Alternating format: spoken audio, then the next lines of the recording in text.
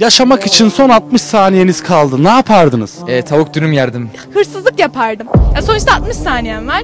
Hayatımı güzel şey yapayım. Bir sigara yakardım. 60 saniye sadece değil mi? O zaman sadece koşardım ya. Bilmiyorum ama çıplak koşardım net. Bu arada ciddiyim yani. Çıplak bir şekilde koşardım 60 saniye boyunca. Öyle ne kadar? Son 60 saniyem kalsa abi yemin ederim hırsızlık yaparım.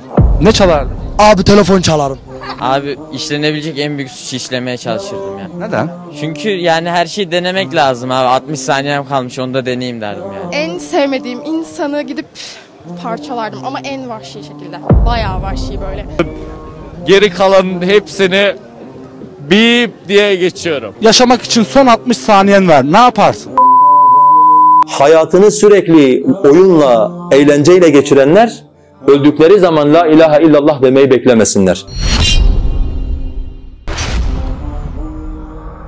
Sürekli santranç oynayan birine ölüm anında geldiler.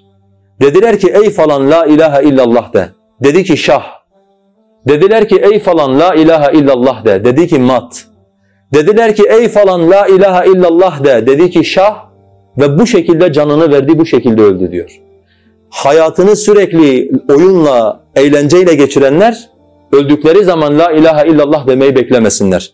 Neyle eğlenmiş, neye dalmışlarsa ağızlarından çıkacak olan kelime yine aynı şekilde olur. İbnül Kayyım aktarıyor. Diyor ki bana bazıları haber verdiler dediler ki bizim tüccar olan bir akrabamız vardı. Ölüm döşeğindeyken biz ona gittik. Dedi ki ey falan ölüyorsun la ilahe illallah de. Diyor dedi ki bu kumaş parçası ucuzdur. Diyor dedi ki ey falan ölüyorsun la ilahe illallah de. Dedi ki bu kumaş pa- pa- parçası pahalıdır. Ey falan ölüyorsun la ilahe illallah de. Dedi ki şu falan camal ne kadar güzeldir ve bunu söyleye söyleye söyleye canını verdi diyor. Bu şekilde öldü gitti. İbnül Kayyım aktarıyor. Gencin biri diyor sürekli şarkı söylerdi. Sürekli şarkı söylerdi. Ölüm anında ona yaklaştılar. Ona la ilahe illallah'ı telkin ettiler. O şarkı söylemeye devam etti.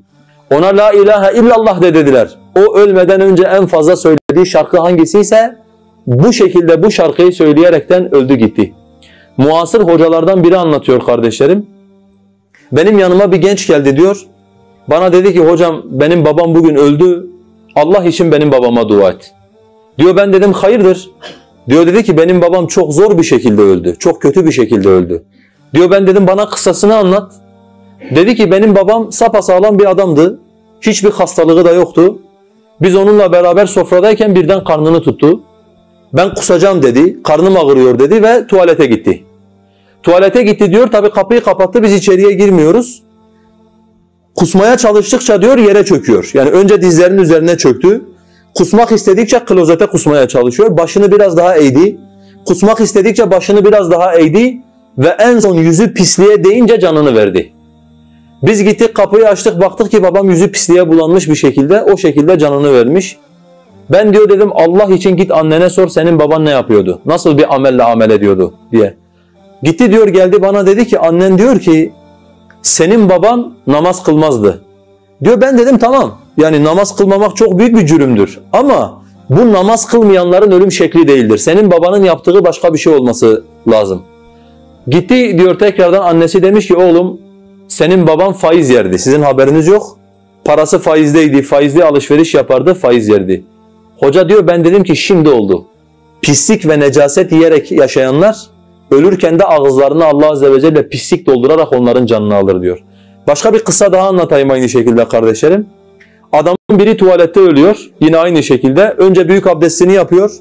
Büyük abdestini yaptıktan sonra da tuvalette ölüyor ve düştüğü zaman yüzü tuvaletteki pisliğin üzerine geliyor.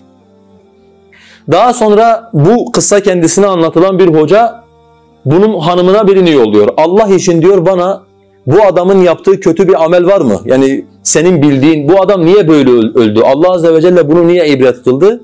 O da hocaya geri haber yolluyor. Ey şeyh diyor ben ne kadar reddetsem de ben ne kadar karşı çıksam da bu bana sürekli arkadan yaklaşmaya çalışıyordu. Ve bana galebe çalıyordu. Allah Azze ve Celle'nin haram kılmış olduğu bu ameli benimle beraber yapıyordu. O hoca da diyor ki tamam şimdi oldu. Allah'ın haram kıldığı yollardan kendini tatmin etmeye çalışanlar canlarını verirken de ağızlarına pislik dolmuş bir şekilde Allah Azze ve Celle onların canlarını alır. Şimdi kardeşlerim ben siz hepimiz Ya ölürken Allah Azze ve Celle bizim canımızı, nefsimizi güzellik üzere alacak. Veyahut da bu örneklerde anlatmış olduğum gibi Allah Azze ve Celle Allah muhafaza bizi rezil edecek. Hem ahiretimizi karartacak hem de aynı zamanda dünyada bizim hakikatimizi insanlara gösterecek. Ve daha tehlikeli olan ne biliyor musunuz kardeşlerim?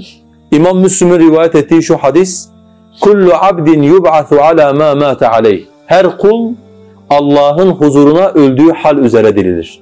Şarkı söylüyorsan Allah'ın huzurunda şarkı söyleyerek dirileceksin. Pislik yiyerek ölmüşsen Allah'ın huzurunda Allah muhafaza pislik yiyerekten dirileceksin. Ne hal üzere ölmüşsen böyle dirileceksin. Aynı zamanda Huzeyfe gibi, Osman gibi, İbn Teymiye gibi rahimehumullah Kur'an okuyarak canını verirsen Allah Azze ve Celle senin canını Kur'an üzere alır. Peki ne yapacağız kardeşlerim? Korkacağız. Korkacağız. Selefin yaptığı gibi korkacağız. Böyle can vermekten korkacağız ve bu korkuyla sürekli Allah'a yalvaracağız.